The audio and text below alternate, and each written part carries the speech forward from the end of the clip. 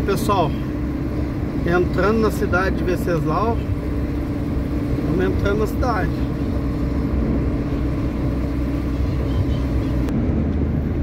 Aí ó.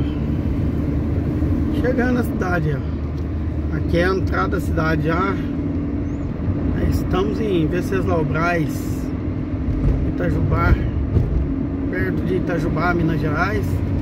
Venceslau Braz, Minas Gerais